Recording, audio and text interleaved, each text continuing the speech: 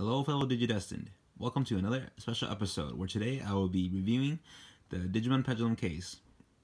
I've had my eyes on uh, this for a while, but I finally pulled the trigger on this one because it was the last purple one I found online.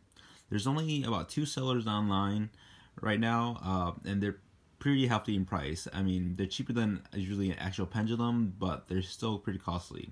This one cost me $49.99 uh, US dollars. That's a lot. I mean, I mean, I guess this is pretty old, over you know, 20 years old almost. Um, and you might not be able to tell, but it's pretty faded. The packaging is pretty faded. But yeah, let's get to it. So, packaging is pretty old. Uh, here's the back. Apparently, it was $33 wherever from. Oh, uh, yes, this one actually came from Hong Kong too. There's one seller from Hong Kong right now, and I think there's one seller from Thailand. This one was came from Hong Kong. It actually took less than two weeks, just a little bit less, maybe a week and a half only. So I was surprised at how fast. There it is. Alright, here's my pendulum. My uh, pendulum version 5.5 Metal Empire with my VenomMyotismon. Alright, let's take it crack and open it. So, I mean, the tape's pretty much worn off already. It doesn't really stick to the X open, so I'm not sure if this is brand new. It's said it's brand new, but we'll have to see. So take that out. set that over here. And uh, here, and then yeah, here is the case. Wow. I mean, I guess it looks pretty. It does look pretty new. I mean, there's not like any a whole lot of like buffs or scratches on it at all. Let me take a look. I mean, I, I don't know what I don't know what I'm expecting. This is my first pendulum case. Um, this is the first pendulum review that I can see on YouTube because there's actually not a whole lot. See on the bottom there it says Digimon case with some designs on there. Top also says Digimon pendulum with a kind of a, a sparkly purple on there. And you can see there is actually a cover in front there, open for the buttons we expect. This is probably, you know, for the chain to come out. Got a hinge for the cap opens. And yeah, that looks pretty good. Looks like nice quality. It's got a okay shape, I guess. It's pretty light. I mean, I don't know. It looks like a little ledge, so might want to be careful about using it too much because it probably wears down eventually. But yeah, let's open it. Oh man. Oh, there he goes.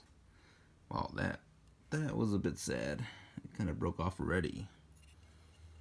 And then, see, I'm doing this behind the camera so you can see.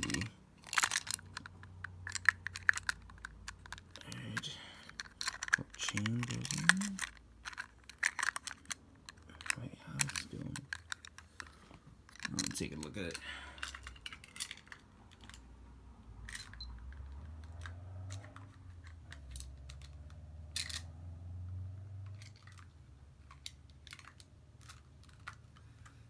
Okay.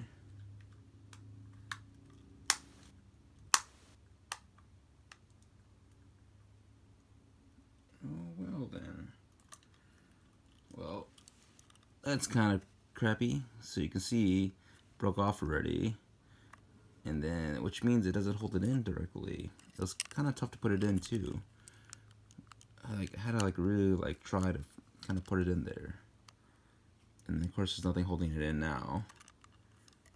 But as you can see, it looks pretty nice though, aside from that.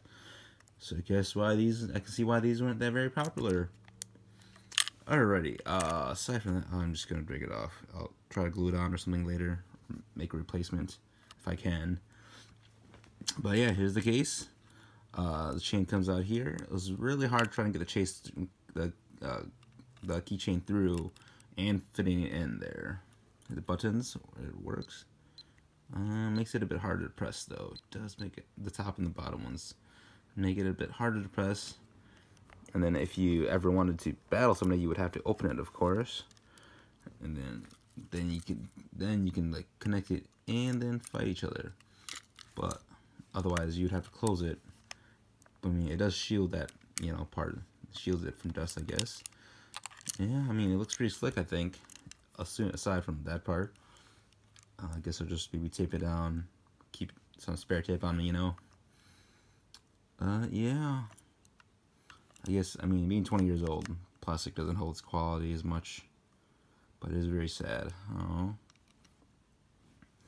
So yeah, there is my 2018 review of this Digimon case. I hope you guys enjoyed it. Uh, if you have any questions, please let me know.